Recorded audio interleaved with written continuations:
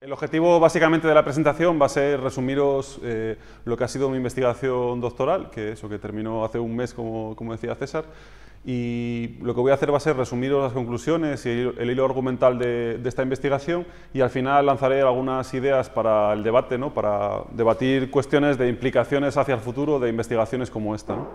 Entonces, bueno, mi investigación doctoral se desarrolló en la Universidad Complutense desde 2009 más o menos, eh, y básicamente se fundamentó en, la, vamos, en el disfrute de una beca predoctoral FPU y que esto soportó el día a día de la investigación durante cuatro años eh, y a la vez eh, estuvo soportada en, parte importante todo el trabajo de campo en un proyecto de investigación que coordina Margarita Fernández Mier desde la Universidad de León, en el que, fue, el que fue el que posibilitó el trabajo de campo en, las zonas de estudio de, de escala micro y semimicro.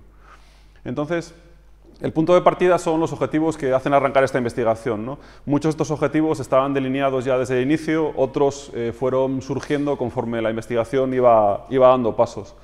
Y en realidad, eh, una de las principales cuestiones que justifican el desarrollo de esta investigación es, eh, al fin y al cabo, el, el, estado de la investigación en la prehistoria reciente en el occidente cantábrico, que se puede caracterizar por una serie de rasgos que definí en los capítulos introductorios de la tesis, que, bueno, que justifican la, la, idoneidad o la necesidad de realizar investigaciones como esta desde mi punto de vista.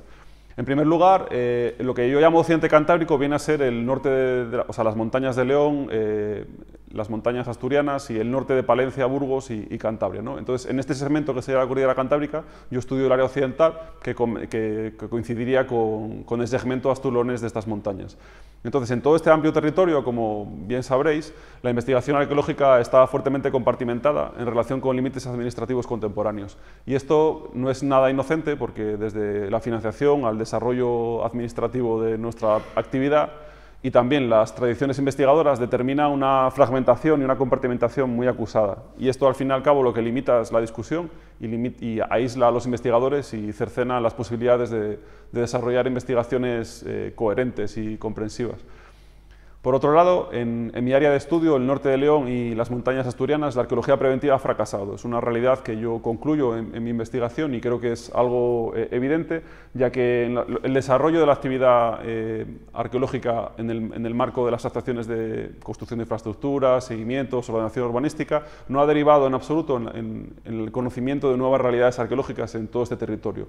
Y esto no, no ha sido simplemente porque no se hayan desarrollado las oportunidades, sino que el marco administrativo y las condiciones que las administraciones competentes eh, dictaban para el desarrollo de estas actividades no han funcionado y hemos perdido una oportunidad que muy probablemente no volvamos a encontrarnos en, varias décadas de descubrir y conocer evidencias arqueológicas que no conocíamos previamente antes de que se iniciase eh, esta actividad profesional de una manera arreglada.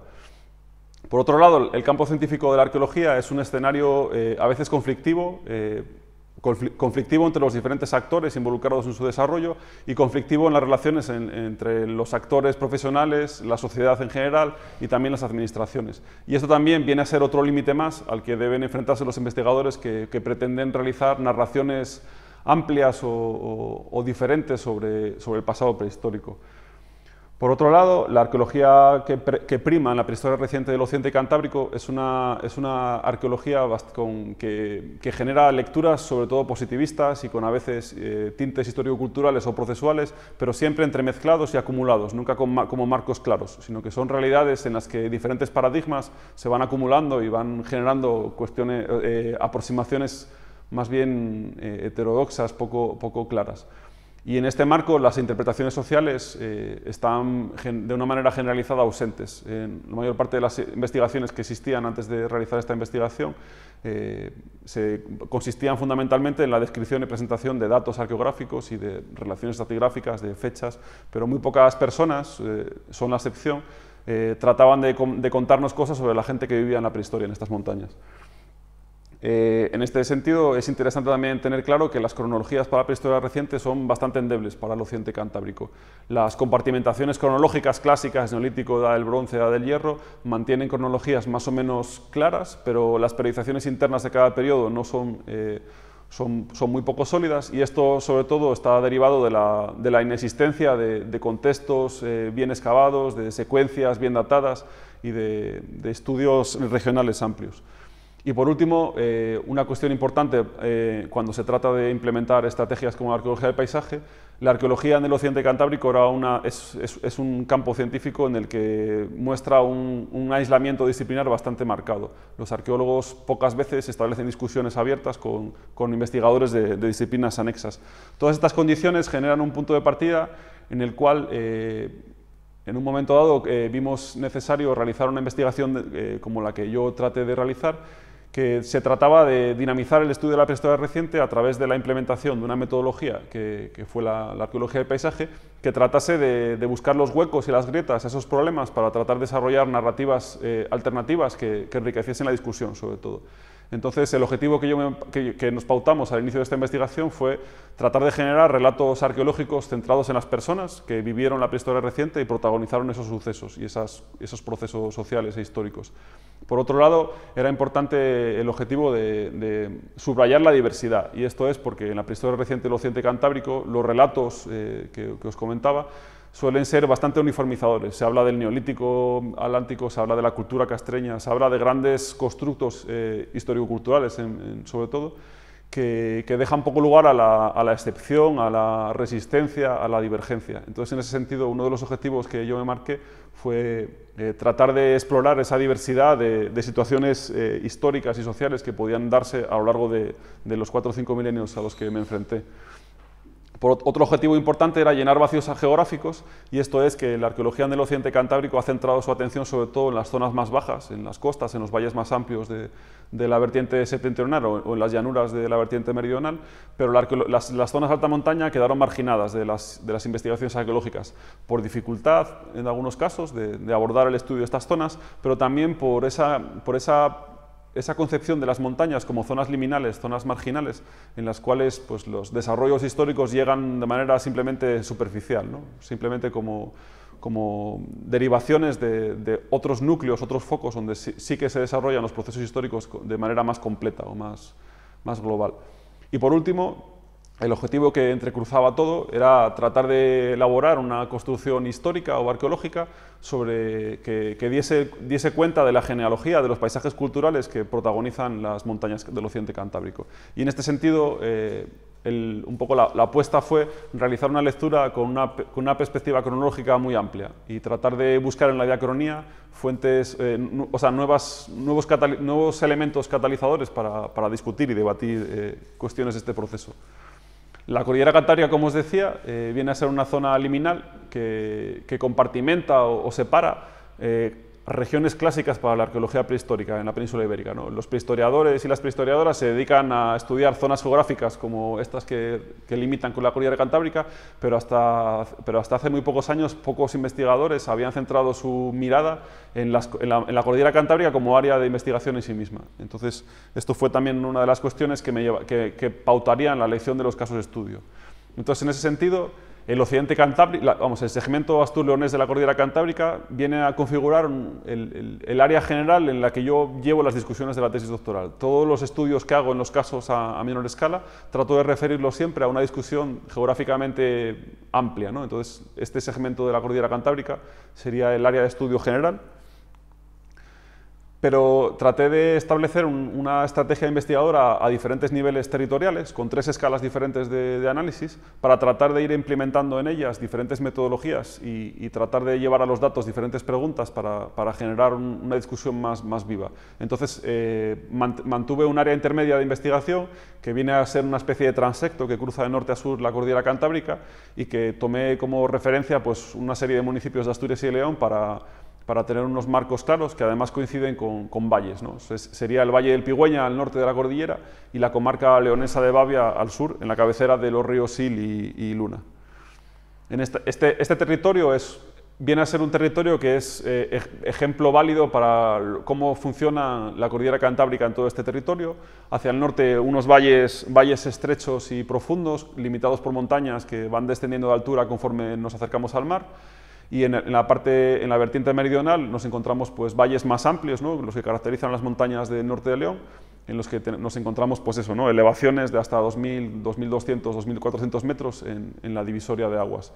Y un territorio también en el que nos encontramos, por un lado, investigaciones previas que nos permitían partir de una base un poco sólida, eh, digamos, sobre el terreno para reconocer lo que nos encontrábamos en la prehistoria reciente. Reconocemos un territorio en el que las actividades preindustriales se mantuvieron vivas hasta hace 40-50 años, lo cual a mí me resultó muy importante para, utilizar estos referentes como estímulos para la generación de narrativas. Y luego también el desarrollo en este territorio de un proyecto de investigación, este del que os hablé, que, bueno, que vino a un poco a sentar las bases del trabajo de campo que, que pude desarrollar. Y luego establecimos un área de estudio micro, o sea, que se configura alrededor de la aldea de Vigaña, que es un pequeño un pueblín de, del Concejo de Belmonte de Miranda en Asturias, donde este proyecto de investigación que coordina Margarita pues, eh, lleva, lleva, desarrollando excavaciones y prospecciones eh, de manera sistemática desde 2009-2010. Entonces, este, esta, aldea de, esta aldea de Vigaña pues, es un pueblo típico de los que nos podemos encontrar en valles como el del Pigüeña, que está colgado en, uno, en un escalón del valle eh, y básicamente responde al, régimen tradicional de poblamiento de, de los asentamientos campesinos preindustriales asturianos digamos, de las montañas cantábricas que, están compartimentados sobre todo en, función de la, verticalidad del territorio, ¿no? con aprovechamientos estacionales de diferentes pisos altitudinales y un espacio agrario muy fuertemente vinculado a la orografía de, estos valles. Entonces, Vigaña, lo una de las cosas más interesantes es que fue también el, caso, o sea, el, caso de estudio a escala micro que Margarita Fernández Mier eh, tuvo en su tesis doctoral. Una tesis doctoral que se centró en analizar eh, los paisajes agrarios y las sociedades campesinas que, habitaron estas montañas, sobre todo en época romana y, medieval. ¿no? Entonces, esta investigación previa sentaba unas bases muy sólidas para tratar de aplicar, o sea, para tratar de implementar estrategias de investigación eh, derivadas del marco de la arqueología del paisaje. Entonces, pues tenemos estudios de toponimia, de parcelario, de tradición oral, usos tradicionales del espacio, muy detallados. ¿no? Entonces, sobre, este, sobre esta investigación preexistente, en este proyecto de investigación lo que hicimos fue eh, tratar de investigar arqueológicamente diferentes espacios que componen el, territorio de esta aldea. Entonces realizamos excavaciones y prospecciones en campos de cultivo, terrazas agrarias, zonas de pastos y también en asentamientos o yacimientos arqueológicos que se conocían previamente. Entonces, por ejemplo, pues excavamos, eh, bueno, excavamos aquí un castro de del Hierro, al lado encontramos asentamientos, asentamientos al aire libre de época neolítica, excavamos terrazas agrarias en diferentes zonas del terrazgo, eh, niveles de ocupación tardorromana medieval en el entorno de la iglesia parroquial, excavamos en, hicimos sondeos en los espacios de pastos, donde también hay megalitos, eh, reconocimos también espacios que podían albergar restos de ocupación, eh, en los que tuvimos resultados positivos y negativos en unos otros. O sea, al final fue eh, investigar con mucha intensidad un, territorio reducido. Y el marco de discusión, la, escena para trabajar es la arqueología del paisaje, en la que sobre todo me interesaba como estrategia investigadora para reconocer el componente cultural que, caracteriza los paisajes de montaña del occidente cantábrico. En este sentido, la definición general de arqueología del paisaje no tengo que presentarla en este sitio, afortunadamente, pero básicamente trata de, relacionar las comunidades humanas con su entorno a nivel efectivo, a nivel práctico y a nivel discursivo. ¿Por qué resulta útil aplicar eh, esta estrategia investigadora para un proyecto como este? Pues en primer lugar porque es una estrategia investigadora que nos permite discutir con investigadores de diferentes eh, disciplinas y nos permite implementar estrategias de investigación interdisciplinares que, van a, maximizar enormemente pues, las posibilidades de la información disponible. En este sentido, es muy interesante tratar de relacionar la investigación arqueológica con, los estudios parlamentales para tratar de reconocer las relaciones, las respuestas, las adaptaciones de las comunidades humanas con, las condiciones ambientales de su entorno. Eh, por otro lado, la, arqueología del paisaje es una, agenda de trabajo que nos permite complementar la información que derivamos del registro on-site en yacimientos con límites definidos con el registro material off-site, ¿no? con, con, con terrazgos, con el paisaje en un sentido genérico. Además, eh, es, un marco de discusión que, está bastante vivo para enfrentarnos desde, análisis territoriales a, discusiones de, tipo social, político o simbólico sobre, las comunidades en el entorno. Y luego también es, una estrategia que nos permite implementar en, nuestras preguntas de investigación una perspectiva más vivencial que desborde, las lecturas positivistas del registro arqueológico. La metodología, la, metodología que, desarrollé, pues al fin y al cabo es la que os podéis imaginar, revisión de datos previos, prospecciones, excavaciones, eh, una lectura cultural de los estudios parlamentales y de las secuencias de pólenes fundamentalmente, pero también otro tipo de registros, análisis territoriales mediante, mediante SIG y, siempre muy presente mantuve, o sea, es una de las cosas que, que más me han interesado siempre, mantener muy presente el, el conocimiento sobre los usos preindustriales del territorio que investigas como, fuente de estímulos para, la construcción de las narrativas arqueológicas. En definitiva, eso, un, enfoque interdisciplinar para maximizar la, potencia interpretativa del registro que tenía a mi alcance. La investigación eh, la arranca en el Neolítico eh, hace unos, hace unos 6.000, 7.000 años en estas montañas. Es el momento en el que los seres humanos que, poblaron este, territorio eh, empezaron a desarrollar un régimen de vida que generó cambios, transformaciones en el entorno. Es entonces cuando podemos empezar a hablar de una antropización efectiva y persistente en el tiempo. ¿no? A pesar de que los grupos cazadores-recolectores que, que estuvieron en estas montañas con anterioridad desarrollaban actividades que también que, necesariamente también dejaban su huella en el entorno, es a partir de la extensión de la agricultura y de la ganadería cuando las comunidades humanas empiezan a dejar impresa su huella en, el territorio en el que desarrollan su vida. Entonces es un poco el límite temporal del que arranco y, bueno, viene caracterizado sobre todo por una afección, o sea, por una, por una incidencia en la cubierta vegetal que deja su huella de manera clara en las secuencias paleomentales a partir de un cierto momento. Para enfrentarnos a, los orígenes de, la, producción de alimentos mediante agricultura y ganadería, eh, uno de los principales referentes son los depósitos lacustres o de turberas o, las muestras en yacimientos arqueológicos que se relacionan con, estudios palamentales. Entonces, eh, en este territorio tenemos la suerte de disponer de una densidad de información bastante importante ya, o sea, que, que nos permite acercarnos a la evolución de la cubierta vegetal a lo largo de la prehistoria con relativa solvencia y sobre todo son datos que se han producido, se han ido generando en los últimos 15 años, sobre todo. ¿no? Que es, vamos, es, un este desarrollo se ha producido en toda la península ibérica, pero especialmente en zonas de montaña, ¿no? porque son donde los ecólogos y los biólogos tratan de reconocer cambios en, en, el, en el, paisaje que a ellos les derivan sobre todo a, discutir cuestiones climáticas y cuestiones de, de, ecología, pero que los arqueólogos, eh, para los arqueólogos nos no supone una fuerte, muy, muy, muy, importante información que yo creo que no en muchos sitios se está, se está aprovechando bien. ¿no? Entonces sí que hay territorios como los Pirineos o la Cordillera Cantábrica donde hay arqueólogos que están trabajando a partir de estos datos, pero hay otros territorios como por ejemplo el sistema central, el sistema ibérico, que mm, todavía no, se ha producido esa discusión clara entre arqueólogos y paleomentalistas para, para generar narraciones históricas. Entonces, en este contexto tenemos las primeras dataciones relacionadas con una necrópolis megalítica en las que encontramos en una secuencia de una turbera eh, evidencias de cultivos y de afecciones de la cubierta vegetal que se pueden relacionar con la extensión de actividades pastoriles y, agricultoras. En, el Montareo, que es una pequeña sierra peritoral ahí en las cercanías de, de hacia, hace unos 4.800 en fechas calibradas. Eh, hacia el interior, eh, si nos vamos un poco a los valles interiores, eh, tenemos la turbera de la Molina, en, el municipio, entre, entre, los municipios de Salas y Tineo, en los que encontramos estas primeras huellas un poco más cercanas en el tiempo, más o menos hacia, a partir del 4.000 en fechas calibradas. Reconocemos en toda la fachada cantábrica, eh, donde tenemos datos eh, que, con densidad suficiente, cómo esta, esta tropización efectiva del, entorno se va, retrasando en el, o sea, se va retrasando en el tiempo conforme entramos en zonas interiores. ¿no? Parece que las zonas costeras son las zonas en las que acogen el, desarrollo más temprano de la agricultura y la ganadería y hacia el interior estas actividades van dejando su huella al menos en, en los registros parlamentales de, un poco de manera más tardía.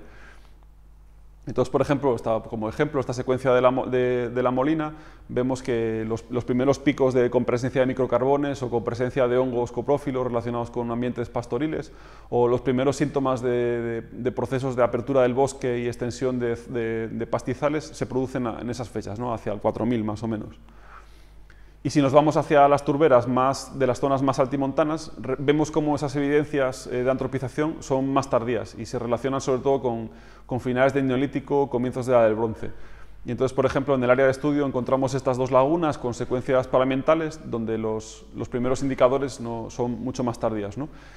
Incluso nos encontramos otros, otros, otros registros, como el lago del Bache en Somiedo, que también está en la zona de estudio, en la que las secuencias palamentales eh, reflejan que parece que no hay una incidencia de antropización hasta el primer milenio antes de Cristo. ¿no? Y vemos cómo parece, en función de estos datos, que habría zonas de las montañas cantábricas en las que las actividades humanas no dejarían una, una huella patente eh, hasta momentos muy, muy tardíos de la prehistoria reciente. Pero, sin embargo, si lo relacionamos con los restos arqueológicos que reconocemos alrededor, nos encontramos como en esta zona sí que encontramos eh, bastantes monumentos megalíticos, en, vamos, a menos de un kilómetro de, de ese valle, y encontramos pues, evidencias de edad del bronce o poblados de edad del hierro, en que, que, teóricamente tendrían que tener un, responder a cronologías más tempranas. ¿no? Y esto lo que nos habla también son de las limitaciones del, del registro parlamental. ¿no? Los estudios parlamentales tienen limitaciones claras y, y no pueden ser tomados como, como lecturas eh, positivas, negativas, de, vamos, con, con, una certidumbre total sobre la, sobre la existencia de actividades antrópicas. ¿no? Y esto sobre todo se, rela se relaciona con con los procesos naturales de deposición de los pólenes, etcétera, en las turberas. Entonces, en este caso, no sé, yo no, no conozco muy bien de cómo funcionan las dispersiones de los pólenes, porque no soy especialista en ello, pero nos encontramos con un valle muy metido en un valle glaciar, en el que seguramente la dispersión de pólenes de valles cercanos nos, no deje una, constancia clara de, de, actividades que se producen en, en territorios muy cercanos. ¿no? Por eso es interesante eh, contar con registros detallados, ¿no? con muestras densas en territorios concretos, porque nos permiten, romper con estos límites de los estudios paramentales y además nos permiten reconocer eh, la posibilidad de que de reconocer eh, procesos diferentes en, eh, en, en, territorios muy cercanos, ¿no? porque tenemos una tendencia a, a establecer relatos de, de, largo recorrido y de largo alcance muy generalizadores ¿no? de estas interpretaciones. Entonces, en este sentido, sí que vemos en estas montañas como valles cercanos, con condiciones orográficas y naturales equivalentes, vemos impactos antropizadores muy, muy distintos ¿no? en, en, la misma cronología. Y esto lo que nos lleva a discutir es eh, la diversidad temporal y las diversas, las diversas eh, respuestas y relaciones que establecen las comunidades humanas con su entorno en, en diferentes momentos. Entonces, pues bueno, túmulos como estos que nos encontramos alrededor de, este lago, pues sí que nos estarían dejando constancia de, la, frecuentación de estos espacios en la prehistoria reciente, pero bueno, esos datos no, no quedan luego reflejados en, en los estudios parlamentales. Yéndonos al estudio a escala micro del entorno de Vigaña, que bueno, la aldea estaría aquí, eh, tenemos evidencias que referirían en un sentido general a la pistola reciente, al neolítico o a la del bronce, que sobre todo se corresponden con la existencia de túmulos en las zonas altas, que en la actualidad están ocupadas por pastizales. Y entonces aquí conviene un poco acotar una primera advertencia, y es que en la tesis doctoral yo traté de primar la, la, la, la utilización, la maximización de los datos disponibles sobre la, ortodoxia cronológica de, de, de estos elementos. ¿no? Entonces, por ejemplo, en el área de estudio eh, reconocemos un total de unos 100 megalitos, eh, pero ninguno de ellos tenemos cronologías absolutas sobre su naturaleza. ¿no? Entonces, simplemente el, mi única posibilidad eh, para, para, poder establecer hipótesis y poder discutir ha sido tomar que los megalitos en general en, el occidente cantábrico han sido, construidos, han sido construidos a lo largo del neolítico y la edad del bronce, con lo cual entro a discutir estas cuestiones con una perspectiva cronológica un poco laxa, pero esto me permite plantear hipótesis y, seguir avanzando en la investigación. Entonces, en el entorno de Vigaña nos encontramos una serie de monumentos megalíticos en las zonas de pastizales y en el entorno de la aldea hemos reconocido evidencias relacionadas con el neolítico en tres sectores diferentes. Entonces, pues en estos tres sectores hemos reconocido mediante excavación arqueológica niveles de ocupación neolítica. Por ejemplo, en este caso es las Corvas, que es el, sector más interesante, que se corresponde con una zona de ladera en la actualidad ocupada por pastos, que, bueno, que se corresponde con zonas de cultivo que seguramente fueron abiertas a partir del siglo XVIII o XIX mediante aterrazamientos y, y, y desbroces de, del de este terreno. Eh, entonces, reconociendo una terraza agraria que tenía una cronología vamos, presumiblemente moderna, contemporánea, que como así constatamos, reconocimos que había una, larga secuencia de deposición de materiales que venían como aportes en ladera, y, pero seguían conteniendo materiales arqueológicos de cronologías eh, postmedievales que nos interesaba ir reconociendo, y la sorpresa llegó cuando a dos metros de profundidad reconocimos un, un derrumbe generalizado bajo, de, de, piedras y bajo el cual reconocimos pues, niveles de ocupación doméstica eh, con hogares y materiales como bueno, trozos de molinos vaquiforme y muy pocos fragmentos de cerámica, pero que se refieren a una ocupación que, vamos, en general de prehistoria reciente, que las cronologías nos llevaron a, llevarlas al, cuarto milenio en fechas calibradas antes de Cristo. ¿no? Entonces constituye el primer, la primera evidencia de un asentamiento al aire libre de estas cronologías en el occidente cantábrico. ¿no? Y dónde ha sido reconocido y la dificultad para reconocerlo desde la superficie nos lleva a plantearnos la dificultad de reconocer nuevos yacimientos de este tipo eh, sin que se desarrollen estrategias investigadoras eh, pues ambiciosas y, diferentes a lo que se venía realizando hasta ahora. Entonces, en este yacimiento lo que nos reconocemos son eh, tres hogares, en cada uno de los cuales tenemos una fecha de carbono 14, y lo interesante de, esta, secuencia es que ninguna de las tres fechas eh, coincide con el resto, no, se solapa ninguna fecha. Tenía que haber traído gráfico de, las calibraciones, pero vemos cómo los tres hogares habrían, sido, habrían funcionado en momentos diferentes, no coincidentes entre ellos. Y esto lo que nos viene a plantear es la identificación de un lugar de ocupación recurrente por unos grupos agricultores, ganaderos, que, desarrollan un régimen de poblamiento itinerante. En otro sector, que se conoce como es la sierra, en el entorno de la aldea, es una de las zonas más interesantes de aprovechamiento tradicional para plantar cereal, pues excavando, eh, tratando de reconocer la secuencia de los campos de cultivo, reconocimos eh, un nivel que nos ofrece fechas de carbono 14 que nos llevan al tercer milenio, fechas calibradas, por debajo de niveles de, niveles de cultivo medievales y posmedievales. Reconocemos pues, materiales arqueológicos muy rodados y, los análisis de composición química y de sedimentología de este estrato nos plantean la, hipótesis de que pueda ser un, nivel de cultivo datable en el tercer milenio ¿no? antes de Cristo. Otro sector muy cercano a este, que se llama el hortal, es un, otro terreno que tradicionalmente fue eh, cultivado como huertas y, para plantaciones de cereal.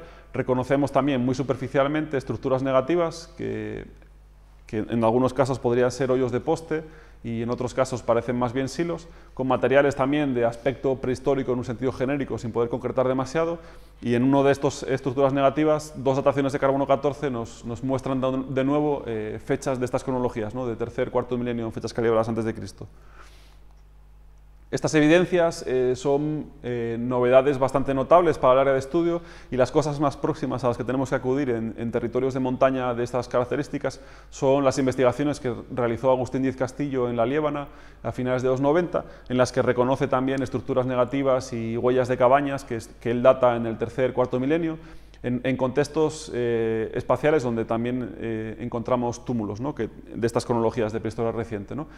Nos, hablan de ocupaciones, de comunidades itinerantes que se van desplazando por las montañas, eh, desarrollando un régimen de agricultor extensivo. En las zonas de pastizales sobre la aldea, tratamos de implementar estrategias de prospección que nos permitiesen detectar eh, evidencias ecológicas para la prehistoria reciente más allá de los túmulos megalíticos. Eh, en el entorno de Vigaña reconocemos varios túmulos megalíticos, algunos estaban inéditos cuando, cuando empezamos este trabajo, y bueno, excavar un megalito no, entraba dentro de, nuestras posibilidades por las dificultades que, que, ello comportaba y las limitaciones presupuestarias que teníamos. Entonces nuestra, nuestra estrategia se centró más en tratar de reconocer eh, evidencias de la ocupación de, de, los entornos de estos megalitos. Entonces Tratamos, por ejemplo, de implementar una estrategia de, prospección a partir de un muestreo aleatorio en el que realizamos eh, o sea, test pits pequeñitos de un metro por un metro levantando el tapiz vegetal para tratar de reconocer materiales arqueológicos en superficie que con la cubierta tan densa de, las praderías de estos, espacios pues es imposible ver en superficie. ¿no? Los resultados fueron muy limitados, apenas reconocimos tres lascas de sílex y materiales postmedievales, pero bueno, dan un poco una pista de estrategias que podrían funcionar para detectar ocupaciones que sabemos que se desarrollaron en el entorno de los, de los megalitos. ¿no? Materiales de este tipo los conocemos puntualmente en superficie en otras zonas, pero bueno, materiales con, unas características tipológicas que, de las cuales poco más podemos decir que son materiales líticos ¿no? y podrían tener cronologías bastante amplias. Pero de nuevo, como los megalitos, presumiblemente prehistóricas, ¿no? nos permiten eh, discutir sobre el aprovechamiento de espacios de montaña eh, en los que aparecen. Y la distribución de los megalitos en todo el área de estudio ¿no? Eh, pues también nos permite entender eh, los patrones eh, de uso de estos espacios y también los mecanismos, los discursos materiales que, comporta la extensión de este fenómeno megalítico por las montañas del occidente cantábrico. Entonces, en el área de estudio, primera observación, tenemos 99 eh, monumentos megalíticos al norte de la divisoria, uno solo al sur de la divisoria de aguas. Entonces, Eh, por un lado está la observación de que quizá, quizá estamos ante mundos diferentes, ¿no? en la prehistoria reciente quizá el megalitismo eh, eh, está regionalizado y a ambas vertientes se desarrolla de una manera distinta, o segunda opción por la que yo me inclino, nos encontramos ante, un, ante, una situación de las investigaciones bastante divergente en función del, del, del contexto administrativo en el que nos encontremos. ¿no? Al norte de la cordillera las prospecciones para realizar cartas ecológicas fueron, fueron un poco más solventes, al sur de la cordillera las prospecciones para realizar inventarios municipales han sido eh, verdaderamente deficientes ¿no? para documentar evidencias de este tipo, con lo cual pues, en los próximos años sería interesante tratar de validar esta hipótesis y ver si al sur de la cordillera existen de verdad megalitos o no, que por lo que estamos un poco jugando con el líder, un poco de manera no sistemática, sí que estamos reconociendo ¿no? bastantes monumentos últimamente, con lo cual pues quizá estamos observando aquí problemas de partida de las investigaciones. Estos megalitos se distribuyen fundamentalmente por las zonas de pastos, eh, ocupando posiciones, las posiciones habituales, ¿no? Eh, collados, puntos nodales en, la, vamos, en la movilidad por estos espacios y también sobre posiciones que, que están relacionadas con, la llegada a las zonas altas de los caminos tradicionales. Entonces vemos, por ejemplo, un ejercicio un poco para jugar con los datos eh, espaciales, de, relacionando los yacimientos donde tenemos ocupaciones neolíticas con los megalitos que están más cercanos, vemos como en un radio de una hora más o menos eh, encontramos megalitos eh, jalonando las vías más, más tradicionales para subir desde, desde la media ladera a las zonas altas. Y bueno, nos encontramos los megalitos que ocupan posiciones relacionadas sobre todo con, con, la movilidad y con la distribución de, de, las personas por las zonas de pastizales y también con, como os decía, con, zonas, eh, con las zonas más aptas para aprovechamiento ganadero y, es más, en toda la cordillera cantábrica reconocemos una, distribución bastante constante que más allá de sitios visualmente prominentes, reconocemos megalitos situados en, depresiones, en cuencas que no tienen una gran visibilidad sobre su entorno, pero en las que encontramos de manera recurrente evidencias eh, de ocupaciones temporales de, relacionadas con pastores, ¿no? De cronologías diversas, y esto lo que nos lleva a pensar es que los megalitos estarían ocupando puntos destacados en el aprovechamiento de estos, en el aprovechamiento de estos espacios que, que también implicarían ocupaciones. ¿no? Entonces, relacionar megalitos con, asentamientos ¿no? Eh, temporales o, de, otro tipo eh, es una hipótesis interesante a manejar y para ello sería, por ejemplo, necesario que en el futuro se desarrollen investigaciones que, más allá de excavar un monumento megalítico bien delimitado, afectasen extensiones más amplias, tratando de reconocer pues, eh, ocupaciones temporales que estuviesen a la sombra de esos megalitos.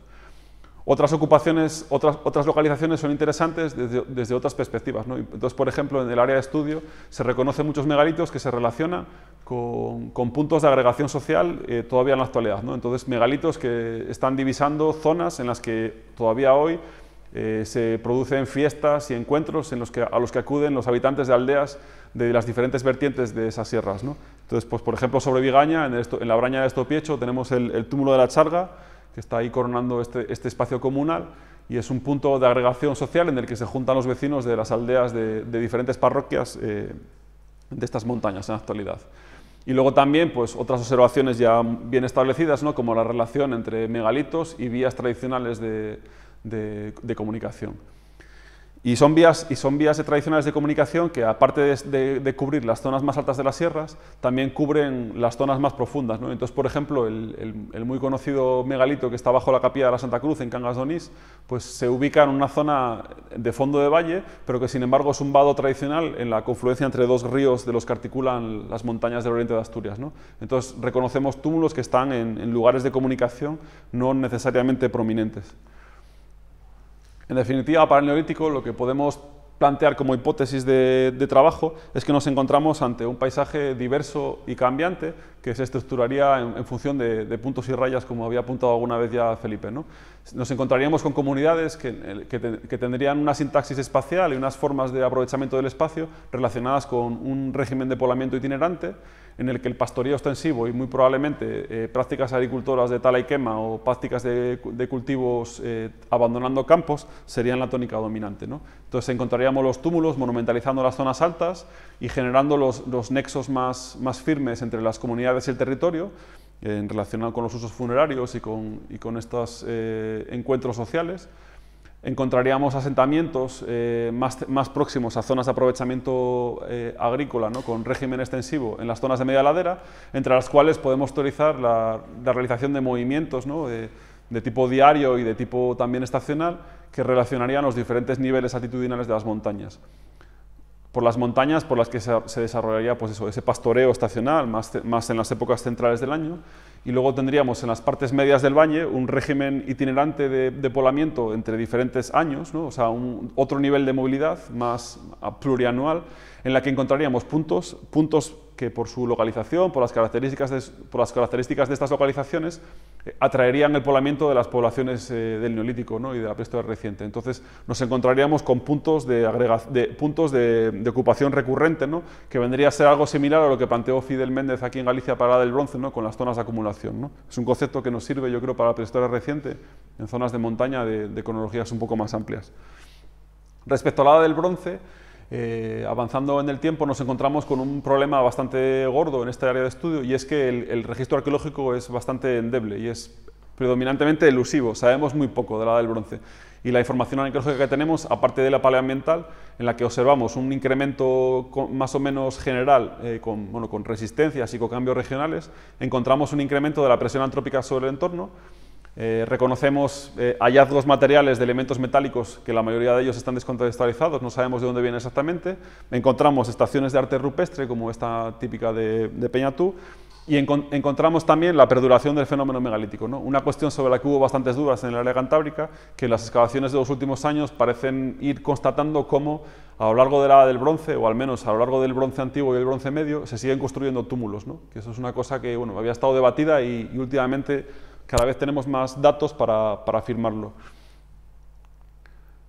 En el área de estudio a escala intermedia nos encontramos algunos de estos materiales descontextualizados, no, no, conocemos la procedencia precisa de ninguno de ellos, salvo alguno que más que la del bronce se podría relacionar con la del hierro. ¿no? Entonces, por ejemplo, encontramos algunos, algunas hachas de talón y anillas que, se, que aparecen en el entorno de poblados castreños que podrían tener ocupaciones de, primera edad del hierro, ¿no? con lo cual tenemos siempre la duda de si algunos de estos elementos se relacionan con las comunidades de edad del bronce o en realidad son productos que están utilizando los primeros habitantes de los castros. ¿no? Y luego hay evidencias como, no sé, esto que llaman el ídolo de Chamosu, que aparece en un pueblo y algunos autores atribuyen a la del bronce, pero bueno, es una cosa un poco extraña que no se sabe muy bien qué es y luego una única estación con, arte rupestre que aparece en una posición típica de estas montañas, que es un, abrigo que está situado en un estrechamiento del valle y, vamos, y se suelen relacionar con, límites entre territorios, con movilidad, ¿no? con desplazamientos a lo largo de las montañas, ¿no? con manifestaciones de arte esquemático pues, bastante simple, que bueno, se concordaría con lo que eh, la mayor parte de los autores atribuyen a la del bronce en, en el área cantábrica.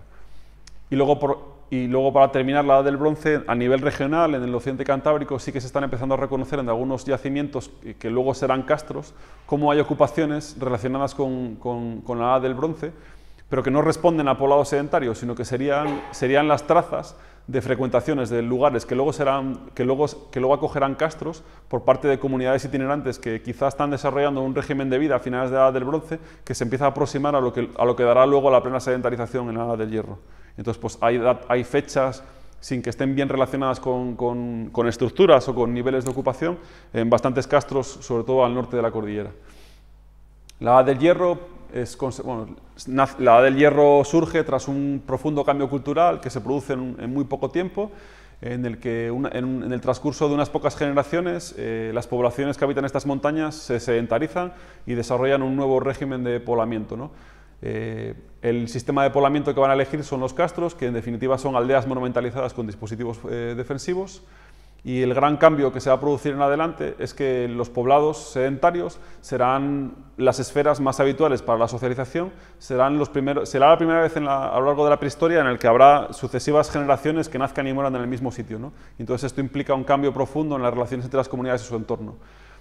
Estas, comunidades tienen un régimen productivo y un, sistema organizativo, de, o sea, un sistema de organización en términos sociales y políticos que tiende sobre todo a la, autonomía a escala de poblado. ¿no? Parece que el poblado, el, castro, es el principal nivel identitario y es seguramente el nivel de, socialización más importante para estas comunidades.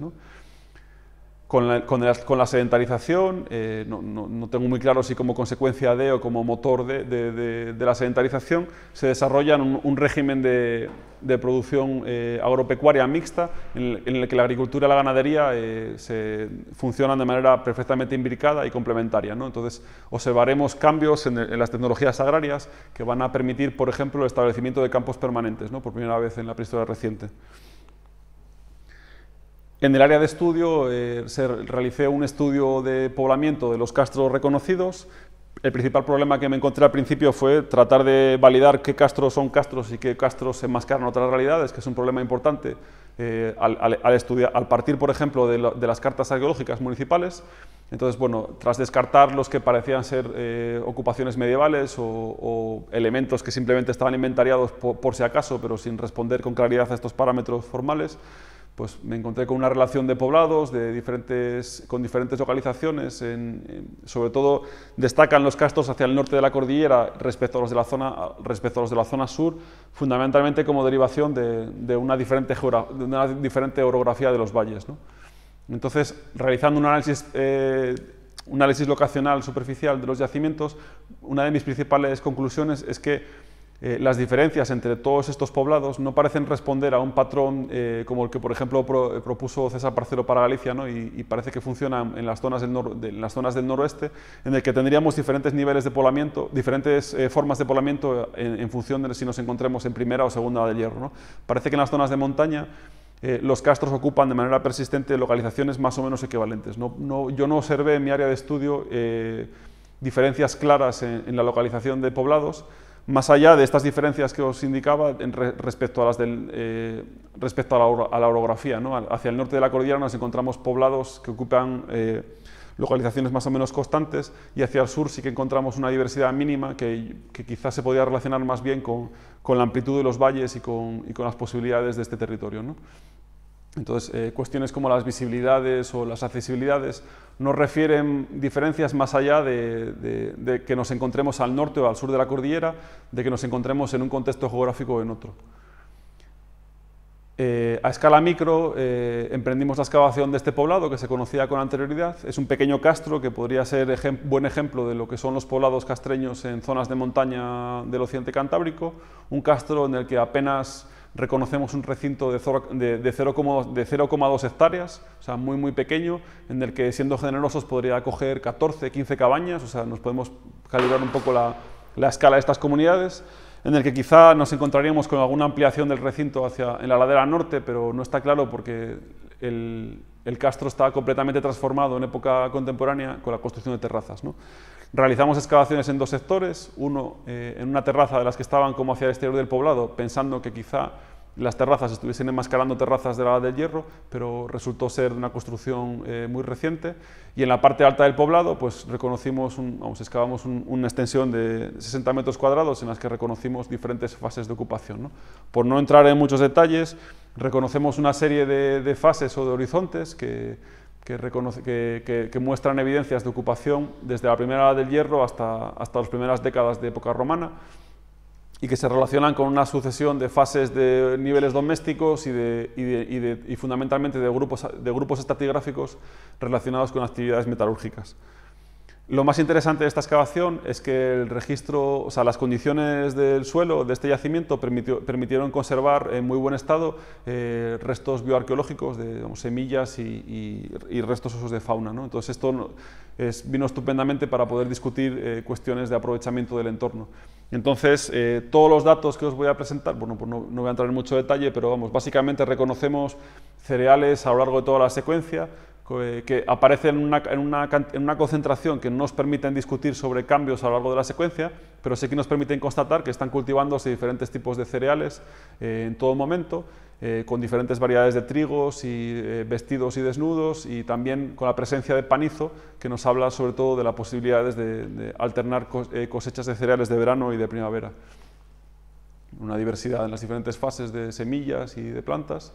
Respecto a la colección arqueofaunística, es muy interesante porque constituye quizá la primera colección del occidente cantábrico en la que contamos con un número suficiente de materiales, en torno a 13.000 elementos óseos, que además han sido eh, estudiados en relación con fases y, estratos. Y, esto es una cosa importante, puede parecernos un poco tonta, pero en el occidente cantábrico todos los estudios de fauna que tenemos a nuestro alcance se relacionan siempre o con yacimientos o con fases grandes tipo primera del hierro, segunda del hierro, ¿no? con lo cual eh, nos hacen perder un poco de posibilidades para la discusión. ¿no? Y entonces, en este yacimiento lo que sí que hemos podido hacer por, una excavación detallada ha sido hacer el estudio en relación con contextos estratigráficos. ¿no? Y esto que estoy diciendo puede parecer tonto, pero en realidad es una novedad interesante para el área de estudio.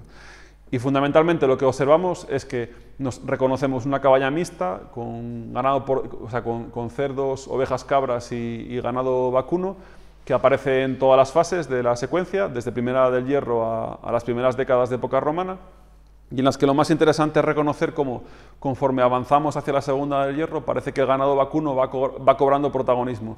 Y va cobrando protagonismo en términos numéricos, pero también en términos de, gestión de la cabaña ganadera. ¿no? Parece que el aprovechamiento del ganado vacuno acaba siendo prácticamente una especialización a finales de la del hierro en este poblado se observa un leve crecimiento de la talla de los animales y se observa también un, aprovechamiento especializado en diferentes, en diferentes vertientes. ¿no? El ganado vacuno se utiliza para trabajar la tierra, se utiliza eh, para criar animales y obtener eh, productos secundarios lácteos. O sea, parece que el ganado vacuno va, va cobrando un protagonismo cada vez más importante.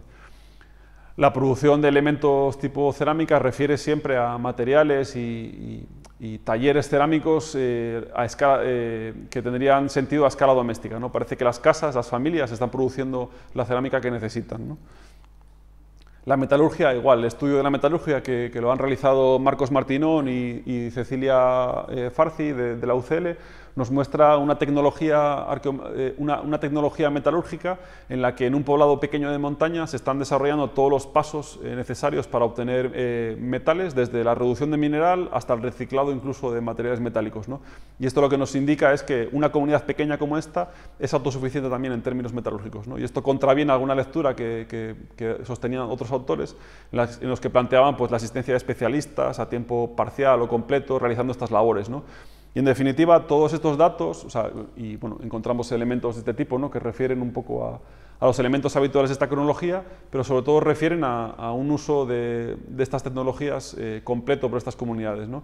Y esto en definitiva lo que nos viene a hablar es que viene a reforzar la hipótesis que yo planteo que comunidades de la del hierro de zonas de montaña como esta son bastante autónomas en todos los sentidos. ¿no? Parece que la escala de producción y de, estas comunidades sería bastante eh, solvente para, para arreglárselas por sí mismos. ¿no? Respecto a espacios domésticos también es interesante, eh, también como contrapunto a la lectura rápida que os he hecho anteriormente, ver cómo a lo largo de la del hierro no todo es igual, ¿no? y, al, igual, que el régimen productivo, ganadero y agrícola cambia, podemos observar cambios, también el registro doméstico nos desvela, por ejemplo, cómo en la primera del hierro reconocemos eh, bueno, no sé si se ve muy bien, pero eh, estructuras domésticas con un formato de una manera diferentes a las de la segunda del hierro. ¿no? En la primera del hierro reconocemos eh, cabañas eh, erigidas con materiales perecederos, que, que, contrasta mucho con la, con la, monumentalidad de las murallas. ¿no? Y entonces esto nos permite un poco apostar quizá por una lectura en la que lo, lo comunitario, ¿no? lo que estaría materializado por las murallas, eh, es lo verdaderamente importante frente a lo doméstico, en, donde no se emplea, por ejemplo, la mampostería. Entonces, quizá esto pueda llevarnos a pensar una lectura de la importancia de las comunidades y de los grupos, y de los grupos eh, castreños, que a lo largo de la Edad del Hierro empieza a desdibujarse ligeramente. ¿no? no de una manera tan clara y tan marcada como se observa en otras zonas del noroeste, pero sí que, sí que observamos cambios en la organización eh, de estas comunidades. Entonces, en la segunda Edad del Hierro encontramos construcciones en las que sí que eh, pues por ejemplo se cambian las formas de las cabañas y también eh, se utilizan eh, mampostería y otras técnicas constructivas. Pero a la vez también observamos fenómenos que a mí me han resultado muy sugerentes como la documentación de posibles depósitos estructurados de carácter votivo, quizás relacionables con, con, la fundación o los procesos de construcción de las cabañas. ¿no? Entonces, por ejemplo, pues en un hoyo bajo la puerta de la cabaña, ¿no? Eh, reconocemos pues, un, par de, un par de cantos rodados, trabajados, que han sido depositados allí con, con restos de, fauna, ¿no? que no difieren mucho del resto de, unidades estratigráficas, pero sí que, sí que nos permiten reconocer pues, una estructura y una deposición de elementos relacionada con el proceso de construcción de la cabaña que también observamos con, con, mucha más claridad que esto que os presenté en la, zanja de cimentación de una segunda cabaña que aparece en el borde del área de excavación, en la que reconocemos pues, la deposición de un, de un, depósito estructurado con una gran cantidad de, elementos óseos de, vaca y de, oveja, en la que se corona, o sea, se, parece que responden a un, al procesamiento de, un, de, medio animal, es, media, o sea, es un cuarto de vaca más una mitad de cordero, que se, se, amontonan todos los restos, se tira una piedra una piedra de cubo eh, sobre los restos y se corona con los cuernos de un cardero. ¿no? Y todo esto relacionado con un cuchillo afalcatado, con, con mango, de, con mango de óseo y, otros materiales que no aparecen en otros sitios. ¿no? Quizás estamos viendo depósitos que, reflejan las actividades, el, el, componente simbólico de la construcción de, de las unidades domésticas. ¿no? Y en la edad del hierro, volviendo a los registros parlamentarios, lo que se observa de manera generalizada es una incidencia sobre el, sobre el, entorno más acusada y sobre todo más sostenible. Y esto hay que relacionarlo, entiendo yo, con la sedentarización, ¿no? cómo la sedentarización cambia la dinámica de antropización de estas comunidades que empiezan a desarrollar eh, un, poblamiento estable que, que deviene en, una antropización en mosaico, nuclearizada alrededor de los poblados castreños. Entonces tenemos que empezar a, entender cómo alrededor de los poblados castreños surgirían eh, campos de cultivo estables en los que se producirían rotaciones de cultivo y, también se combinaría con el aprovechamiento ganadero eh, de estos espacios en combinación con el aprovechamiento pastoril de las zonas más altas de las montañas que, sobre todo en las secuencias palementales de los lagos más altos vemos cómo empieza a ser bastante generalizado en toda la cordillera ¿no? y sobre todo con una, con una apertura de pastizales bastante marcada, sobre todo en contraste con las épocas precedentes y que nos podría eh, estar un poco recordando esa importancia creciente que tiene el ganado vacuno a lo largo de la del hierro y quizá podría empezar a plantearnos la, existencia de, patrones de movilidad transterminante de, de los rebaños de los, los, los habitantes, de los habitantes de los castros que quizá podrían, podrían estar utilizando los pastizales con un régimen similar o, cercano al que lo utilizan las comunidades preindustriales actuales, ¿no? bueno, subactuales. Entonces, por eso yo planteo la posibilidad de que en las zonas de pastizales puedan existir asentamientos temporales que no han sido todavía reconocidos en estas montañas, que, requerirían investigaciones monográficas en las zonas de altura. En definitiva, los grupos castreños desarrollan en estas montañas un paisaje campesino en el que la, entropización se empieza a realizar de manera nuclearizada en el entorno de los castros, con zonas de cultivo eh, en las proximidades, en las que reconoceríamos algunos poblados, algunos campos de cultivo eh, permanentes junto a otras zonas que serían abandonadas cada cierto tiempo, un aprovechamiento ganadero del entorno eh, amplio y que sobre todo eh, se realizaría a partir de un modelo muy vertical, con diferentes usos y, aprovechamientos relacionados con las excepcionalidades de, estas montañas, en las que muy probablemente podríamos entender cómo la especialización del ganado vacuno se relaciona con, con movilidad vertical. ¿no? Y en términos sociales y políticos, al final los castros se convierten en los referentes identitarios más importantes para las comunidades prerromanas y, y vendrían un poco a delimitar una creciente territorialización y compartimentación del paisaje eh, en estas montañas. Y esta lectura, al final, eh, para que, podría ser un, modelo eh, que podría funcionar en las montañas del occidente cantábrico, no deja de ser interesante tomarlo en consideración y contrastarlo con los estudios que se han hecho en el noroeste ibérico en, líneas generales en los últimos años, ¿no? y enfatizar un poco la lectura de cómo esa pretendida cultura castreña que hayamos manejado hasta hace poco tiempo empieza a desmoronarse cada vez más en el sentido de que cada vez empiezan a, haber estudios micro que, enfatizan la diversidad de, de realidades. ¿no? Entonces, cómo propuestas como la de Alfredo González Rival, de que nos hablan de un, noroeste ibérico con formaciones sociales y políticas bien diferenciadas, pueden ser relacionadas cada vez, cada vez mejor con diversidad de, yo que sé, talleres de cerámica, ¿no? como este estudio de Carlos Marín, o diferentes aprovechamientos del entorno, diferentes, modos de, diferentes modelos de poblamiento. ¿no? Yo creo que es una de las lecturas interesantes cómo, cómo es necesario eh, ir un poco a las bases de las construcciones más grandes que hemos, hemos mantenido hasta hace poco y tratar de buscar la diferencia y la diversidad. El final de los castros, muy breve, eh, vamos, estas montañas se conquistan, las conquista el ejército romano hacia el cambio de era y generan una transformación de las formas de poblamiento. Eh, desestructuradas las realidades identitarias y sociales y políticas de las comunidades indígenas, deja de tener sentido vivir en castros, poblados amurallados que hay que mantener, están a veces lejos de los campos de cultivo. Eh, el nuevo sistema de, poder basado en el Imperio Romano eh, deja de, hace que las murallas pierdan su sentido y las comunidades se trasladan rápidamente hacia, hacia las zonas donde tienen los cultivos. Entonces vemos, o sea, se observa de manera recurrente cómo la inmensa mayoría de los castros del occidente cantábrico en las primeras décadas del siglo I después de Cristo son abandonados y cómo solo unos pocos se mantienen en uso, fundamentalmente relacionados con funciones policiales o funciones un poco de administración territorial. ¿no? Solo las zonas, solo los castros eh, de la del Hierro que ocupan posiciones destacadas en el entorno van a ser ocupados y van a ser ocupados por, poderes, eh, o sea, por poderes de un nuevo paisaje político y social. ¿no? Entonces, pues ejemplos como este, ¿no? en el que se están empezando a reconocer eh, poblados en, o sea, poblamiento romano en abierto, que en realidad están están seguramente siendo el reflejo de, traslados de población de los castros, de, o sea, familias campesinas que dejan de habitar en castros y pasan a habitar en, zonas abiertas, en las que empezamos a reconocer las aldeas eh, subactuales que darán luego lugar al paisaje campesino medieval. ¿no? Entonces, pues, en este, por ejemplo, este es un ejemplo, ¿no? allí cercano al área de estudio, en el que se reconoce un una especie de vicus o poblado romano bastante importante en abierto, y en realidad en Vigaña empezamos a reconocerlo, aunque no hemos reconocido directamente ocupaciones romanas del, terreno actualmente ocupado por aldea, pero sí que empezamos a reconocer material romano en posición secundaria en, niveles medievales, ¿no? con lo cual pues, es, es presumible entender que donde está la aldea actual eh, la, aldea de, o sea, de, la, aldea campesina eh, seguramente en época romana estuviese por, por, este mismo entorno. ¿no? Como conclusiones a esta lectura un poco apresurada que, he hecho de, de, esta investigación, al final eh, yo creo que uno de los resultados más interesantes es poner en claro la, la relevancia de, apostar por esa mirada interdisciplinar y de mantener sobre todo un diálogo abierto y al mismo nivel, ¿no? en el que los arqueólogos y las arqueólogas discutamos eh, discutamos agenda de investigación con, investigadores de otras disciplinas. ¿no? Más allá de encargarle estudios concretos a un investigador que te, los proporciona y tú lo anexas a tu memoria de excavación, es importante compartir objetivos y compartir, y compartir agenda de trabajo. Por otro lado, la, relevancia del registro off-site fuera de yacimientos bien delimitados, o sea, es importante y sobre todo aporta pequeñas notas que complementan las narrativas que puedes generar a partir del registro arqueológico.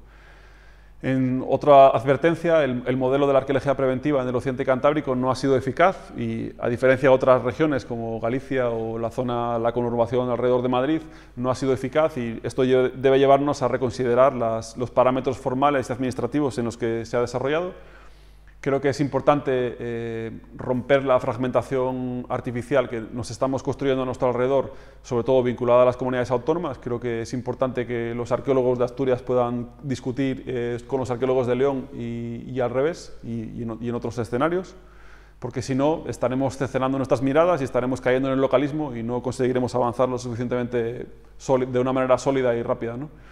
Por otro lado, las narraciones de tiempos largos, como la que he tratado de realizar en esta investigación, nos permiten también tratar de enfatizar el papel del paisaje como una realidad eh, consecuencia de actividades humanas, pero también una, realidad estructurante, de, esas, actividades humanas. ¿no? Como el paisaje es un constructo cultural, pero que también es un, es un, constructo que, que refiere a aspectos sociales, productivos e identitarios de las comunidades humanas.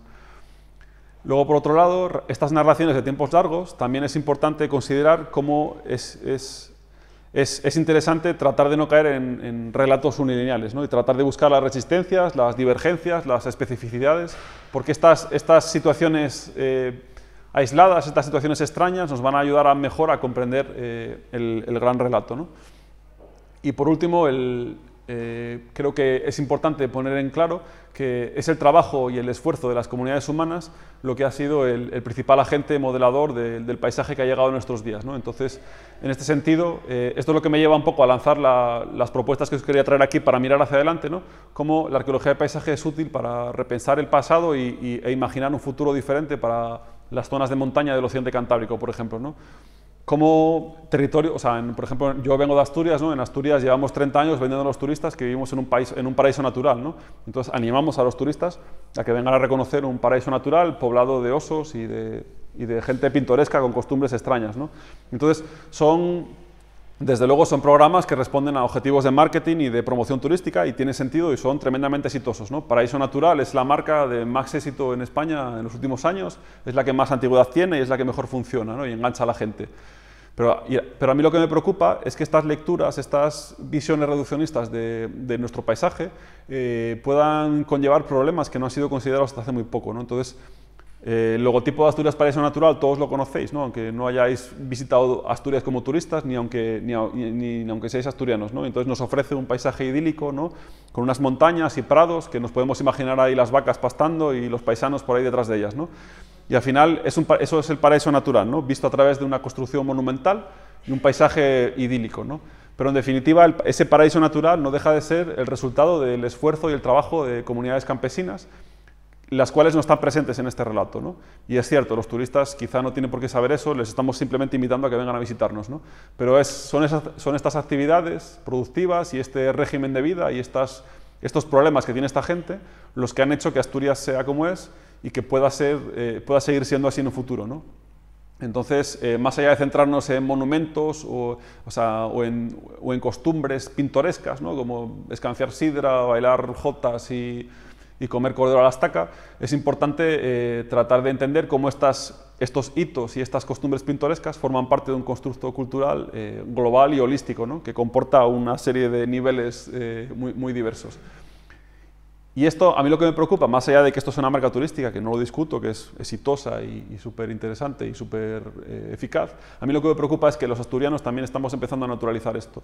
Y, por ejemplo, anécdotas como esta. ¿no? Se celebró el 30 aniversario de la marca turística Asturias Paraíso Natural hace, hace unos meses y se, se, promovió que los niños de Asturias eh, dibujasen, escolares de entre, creo que eran entre 6 y 12 años, que dibujasen el paraíso natural en el que vivían.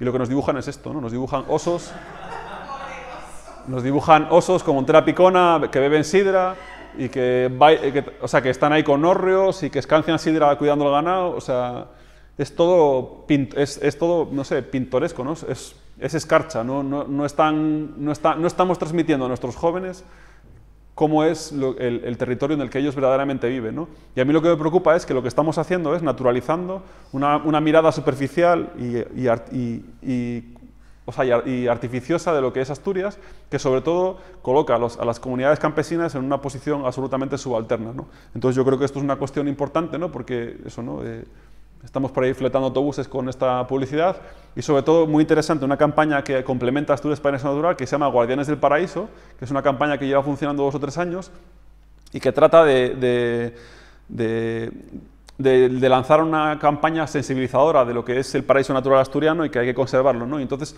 nos presenta una serie de, guardianes del paraíso. ¿no? Hay, campaña, hay spots publicitarios con diferentes personajes, pero es que todos los personajes son excursionistas, visitantes, eh, pintores, artistas, pero no hay ni un solo paisano, o sea, no hay, ni un solo, no hay ni una sola persona que haya trabajado la tierra y que haya hecho Asturias ser como es hoy. ¿no? Entonces, en este contexto yo me planteo cómo los científicos sociales debemos eh, mantenernos al margen o decir algo. ¿no? Yo creo que debemos decir algo porque tenemos la responsabilidad social de evitar que situaciones como estas se naturalicen de manera irremisible. ¿no? Yo no sé si será tarde ya incluso, pero yo creo que ese paraíso natural, idílico, eh, tiene problemas por, por, debajo que hay, que hay que traer a la palestra. ¿no? Entonces, entonces, creo que los arqueólogos y las arqueólogas podemos presentar una realidad que, o sea, los paisajes asturianos o del occidente cantábrico son, son constructos sociales que son consecuencia de una serie de procesos históricos que siguen en marcha. ¿no?